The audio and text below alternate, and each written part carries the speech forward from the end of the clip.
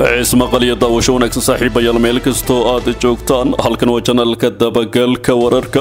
Waa labada bisha afraad sanadka qodobada ugu waaweyn oo wararkan idin haynana waxaa ka mid ah madaxweyne xasan sheekh maxamuud kadib laba bilood oo mashquul xoogle uu ku galay meelmarinta qorshaha wax ka beddelka dastuurka dagaal adagna uu la galay mucaaradka. Hadda waxa uu u jihaystay islamarkaana uu u qalab qaatay burburinta maleeshiyada shabaab. Iyadoo madaxweynaha markii uu tegay degmooyinka xarar dheere iyo ceeldheer uu qaaday tallaabooyin ay si weyn ugu riyaaqeen ciidamada. Maxay tahay fariinta? Madaxweyne xasan sheekh maxamuud uu u diray dalalka dowladda federaalk soomaaliya ka taageera howlgallada dhinaca ceyrka ah qorshaha cusub ee madaxweyne xasan sheekh maxamuud uu doonayo in dib boorka looga jafo howlgallada dalka looga xoreynayo maleeshiyada shabaab. Xoogaha cusub ee laga helayo qorshaha socda warkeenna ayaan idinkugu soo gudbin doonaa maxaad ka og tahay dekeda dalka dariska la ah soomaaliya oy abiy axmed iyo dowladiisa etoobiya sahanka ka bilaabeen?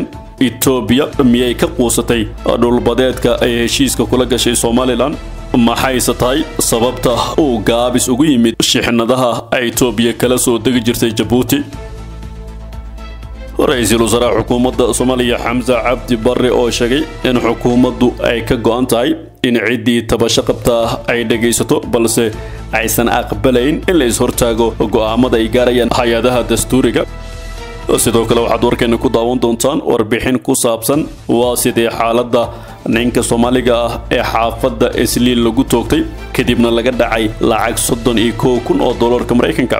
Weerarka lagu qaaday ninkan oo mooto saarnaa siduu u dhacay shakhsiyaadka fuliyey iyo xogaha laga helaya weerarkan. Warkeenna ayaad ku daawan doontaan qaybta dambena waxaan ku falanqayn doonaa warbixin ku saabsan ansixinta dastuurka kadib. Maxaa xiga? Sidee ayayse shaqadiisu u bilaabanaysaa? Sidee doorasho? Qof iyo cod ah ay kaga dhici kartaa soomaaliya arrimahaasi kuwo kale ayaan qaybta dambe ee warkeenna ku falanqayn doonaa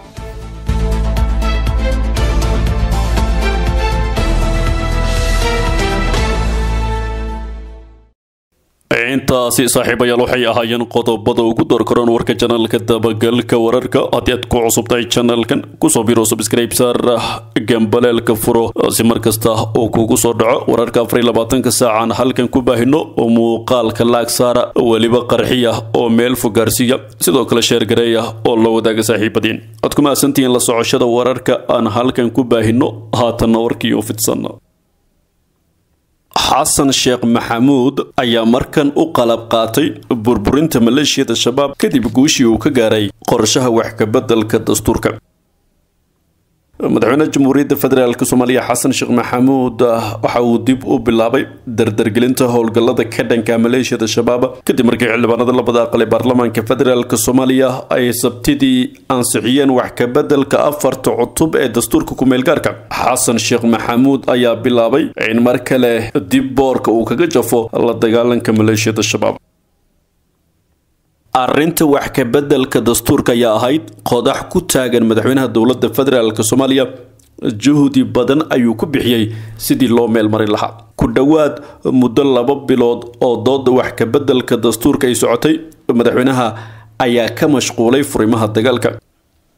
Warbaahinta ayaa fahamsan in mashquulka madaxweynaha ee dardargelinta howlgallada laga dareemay jiidda hore gaar ahaan deegaanada hirshabeelle iyo galmudug madaxweyne xasan sheekh maxamuud oo wehelinayo. Madaxweynaha dowlad goboleedka galmudug ayaa shalay gaaray degmooyinka xarar dheere iyo ceeldheer ee galmudug. Safarka madaxweyne xasan sheekh ee galmudug waxa uu bilow u yahay in dib loo dardargeliyo howlgallada dib u xoreynta dalka isagoo dhiirigelin u sameeyey ciidamada qalabka sida iyo halyeeyada difaaca shacabka ee khawaariijta kula dagaalamaya deegaano ka tirsan galmudug.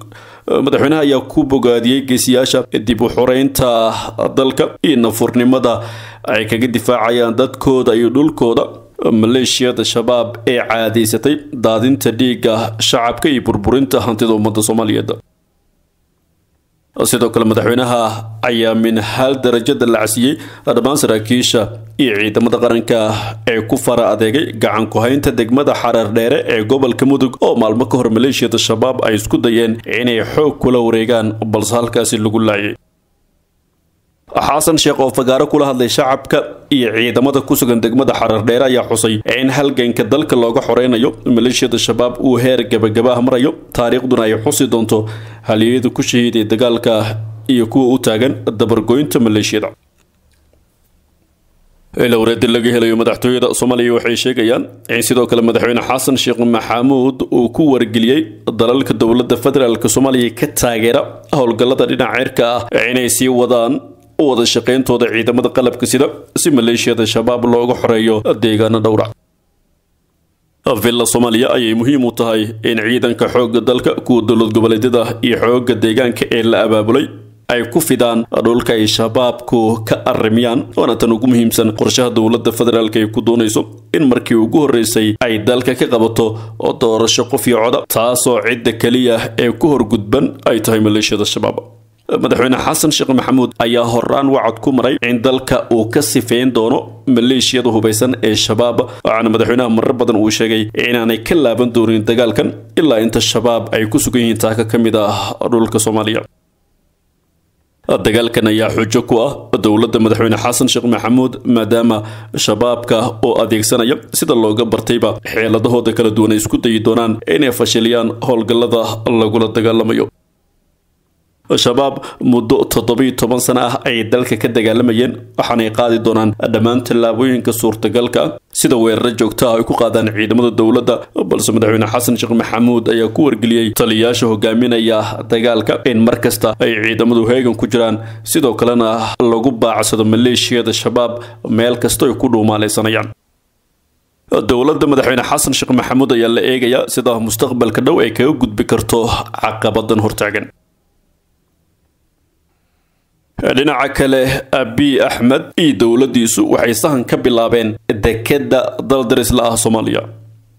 Etoobiya ayaa sahminaysa suurtagalnimada in dekedda laamuu ee dalka kenya ay kala soo degto bacarimiska dalaga taasoo qayb ka ah dagaalka ay ku doonayso inay ku ballaariso dekedaha ay wax kala soo degto ee ka baxsan jabuuti oo inta badan etoobiya ay kala soo degto shixnadeeda inkastoo fikradda isticmaalka etoobiya ee dekedda laamu ay tahay fikrad waa hore haddana iyo hadda lama hirgelin.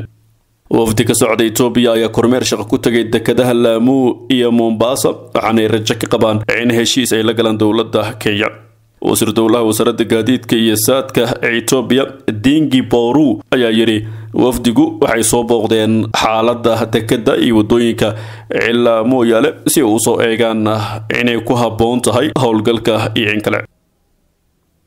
Si loo xaqiijiyo howlgal aan kala go' lahayn warqado heshiisyo kala duwan oo u dhexeeya labada waddan ayaa loo baahnaan doonaa in la dhammaystiro ka hor intaan adeega laga bilaabin laamu sababa la xiriira dhinaca ammaanka badda cas awgeed shixnadaha etoobiya waxaa hadda laga soo dejiyaa dekedda mombasa iyadoo ay jiraan caqabado ka duwaya dhinaca jabuuti.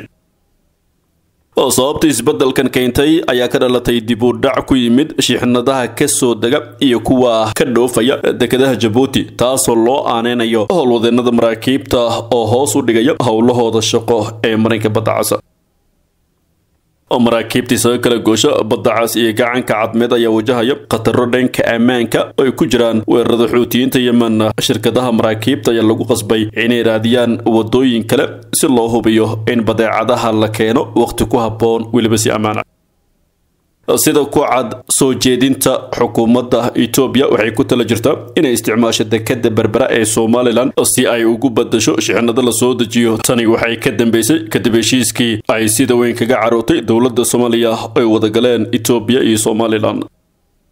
Ilaa iyo hadda etoobiya meesha ugu dhow ugana dhisan deked ee sidoo kale ay ku xireen tareen koronto waa jabuuti inkasta oo ay ka badan tahay qarashyada howlgelinta. Marka la barbar dhigo jabuuti mombasa waxay u soo baxday inay tahay dooq loo doorbiday xamuulka etoobiya sababtoo ah xasiloonideeda iyo ku filnaanshaha baahida addis ababa dekeda mombasa ayaa si gaara uga faa'iidaysatay xarumaha warshadaha ee dalka etoobiya sida hawaasa bolilemi debriberhan iyo adama halkaasoo warshaduhu ay aada ugu tiirsan yihiin soo dejinta alaabta cayriinka iyo dhoofinta alaabta warshadaysan.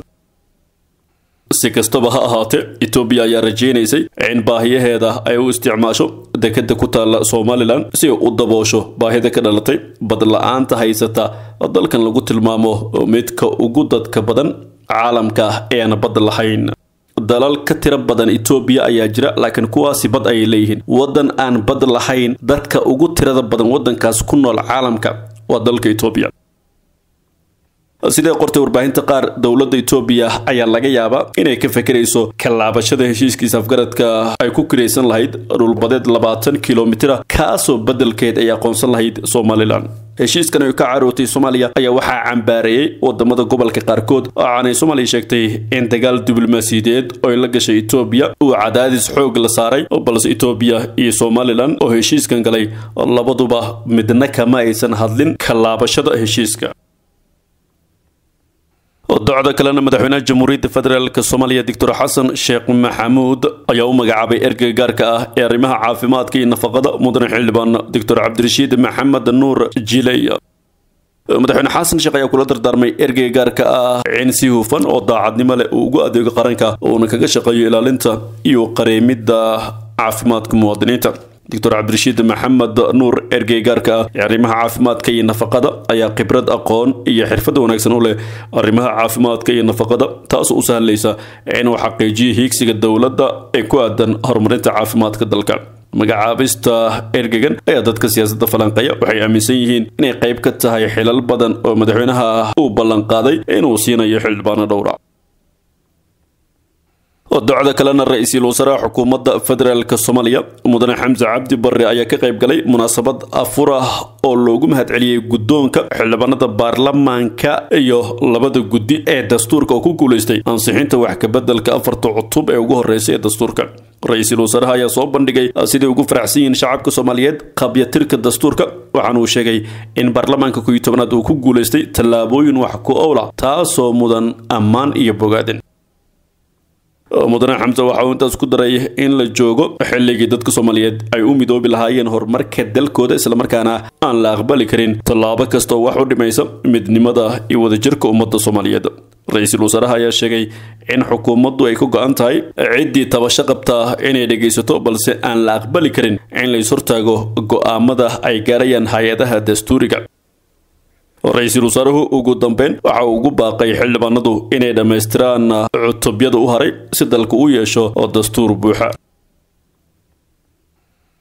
Dhinaca kalena waa sidee xaaladda nin soomaali ah oo xaafadda isliin lagu toogtay lagana dhacay kumanaan dollar? Xaafadda isliin magaalada nairobi waxaa lagu toogtay nin soomaali ah oo ganacsada ah lacag ayaana laga dhacay weerarka ayaa waxaa lagu beegsaday nin labaatan iyo lix sano jir ah oo magaciisa lagu sheegay aadan cali maxamed kaasoo la toogtay lagana dhacay lacag ku dhow qiyaastii soddon iyo kow kun oo dollarka maraykanka xilli uu saarnaa mooto labalugaaleeya waxa uu marayay waddo la yidhaahdo martiina oo ku taalla xaafadda islii. Ninka la sheegay inuu dhaca iyo toogashada fuliya ayaa la sheegay inuu isagana saarnaa mooto kaasoo la sheegay inuu baxsaday dhacdada kadib aadan waxa uu damacsanaa in lacagta uu ku shubo mid ka mid ah bangiyada ku yaalla. Xarunta laga dukaamaysto ee b b s moll oo ku taalla xaafadda islii oo soomaalidu degto sida uu warbaahintu u sheegay cumar xuseen oo ah xogayaha guud ee guddiga ganacsatada islii ha yeeshee markii uu yimid waxa uu ogaaday in bankigu uu xiran yahay. Sidaa darteed waxaa la sheegay inuu go'aansaday inuu ku laabto guriga. Waxaanuu raacay mooto laakiin nasiib darro. Markii uu soo gaaray waddada muratina ayaa waxaa dhanka sare ka toogtay nin saarnaa mootada cumar xuseen xogayaha guud ee golaha iskaashatada ganacsatada islii waxa uu yidhi markii uu soo laabtay oo uu marayo saldhigga booliska ee islii agtiisa ayaa mooto kale jidka lagu horgooyey lacagta keen ayaa la yidhi. Isagana gacanta kale ayuu u wareejiyey. Kadib rasaas ayaa lagu dhuftay lacagtiina waa laga qaatay ayuu sheegay cumar oo muuqaal ay duubtay kamerada c c t v ayaa muujinaya laba nin oo saaran mooto. Waxaa laga shakisan yahay in tuugo ay ahaayeen ayna daba socdeen muddo dhaqdhaqaaqiisana ay ka warhayeen. Dhacdada naxdinta leh ayaa sii kordhinaysa walaacaysa soo taraya ee laga qabo amni darrada islii iyadoo si gaar ah diiradda loo saaray dembiyada la xiriira mootooyinka dhacdooyinka dhaca iyo rabshadaha ay ku lug leeyihiin wadayaasha mootooyinka ayaa ah mid ay muddaba ka cabanayeen dadka ku nool xaafadaasi. Iyadoo weli ay socdaan baritaano ku aadan falka toogashada ayaa dadka deegaanka loogu baaqay in feejignaan ay muujiyaan islamarkaana ay ku soo wargeliyaan maamulka wixii ay ka shakiyaan.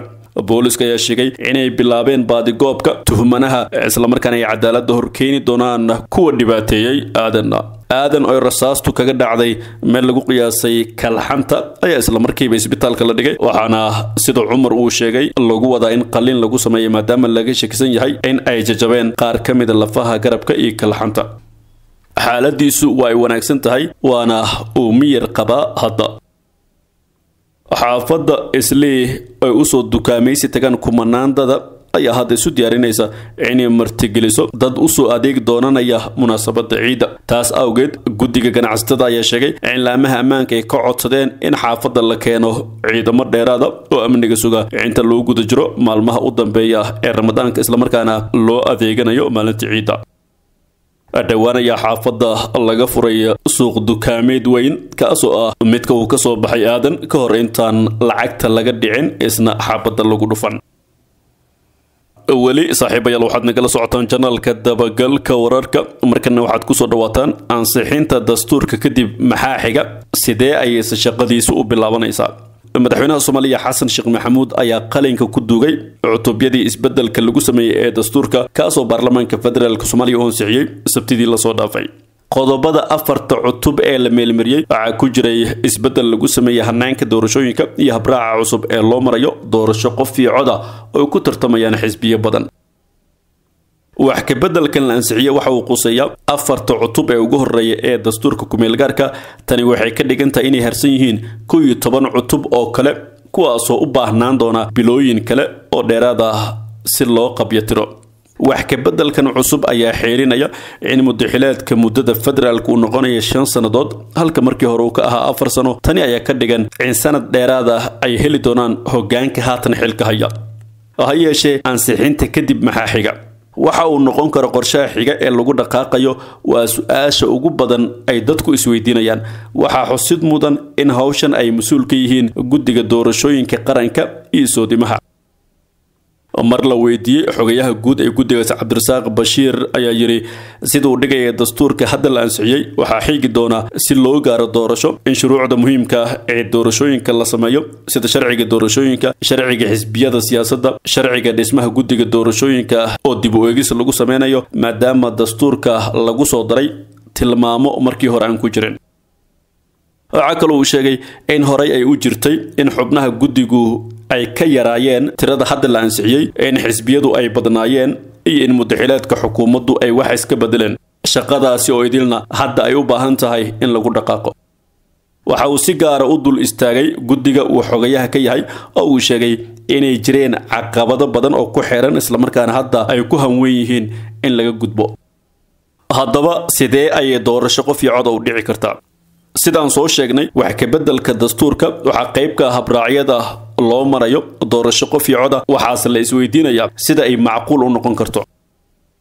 Runtii wakhtigan waxaa muuqata in madaxda dalka ay wakhti badan ku bixinayaan doorasho qof iyo coda ay u muujinayaan xeelanaan iyo in mudnaanta ay siinayaan maadaama ay howluhu bilaabeen wakhti ku habboon waa fursad fiican oo hay'adda doorashooyinka ayaa dhisan. Xeerar badan ayaa la diyaariyey. Aqoonsiga muwaadinka ayaa meel fiican maraya. Degmooyin badan ayaa gacanta la soo geliyey oo hadda xura. Sidaa daraaddeed waxaa muuqata in wax walba ay hagaagi karaan ayuu yidhi guddoomiyaha guddiga doorashooyinka qaranka iyo soodimaha cabdirasaaq bashiir waxaa sidoo kale isweydiin mudan in haddii ay dhici weydo doorasho qof iyo coda ay saameyn kala noqon karto. Waxaase la isweydiinayaa sida xalka uu noqon karo. Xogaya cabdirasaaq oo arrintaas ka hadla waxa uu sheegay in soomaalidu aysan weynayn qaab ay wax ku xalliso balse waxa uu sheegay in lagu rajawan yahay in habkan uu shaqeeyo. Qaar ka mid a siyaasiyiinta xilaalka ka soo qabtay dalka ayaa si weyn u dhaliilay ansixinta dastuurkan. Sidoo kale maamulka puntland waxay sheegeen inaysan raacsanayn siday u socdaan howlaha dastuurka oo ay ku sheegeen in heshiis aan lagu ahayn. Puntland waxay sheegtay in arrimaheeda iyadu ay u gaar tahay wixii quseeyana ay kala xaajoon doonto beesha caalamka. Guud ahaana saaxiibayaal waa nageynta warka janalka dabagalka wararka. Haddii aad ku cusubtahay janalkan ku soo biro subscribe saar muuqaalka laag saar sheer garey oo la wadaag saaxiibada. Ood ku mahadsan tahay inaad daawato warkan mid ka xiga. Intaan ku kulmi doono nabadgelyo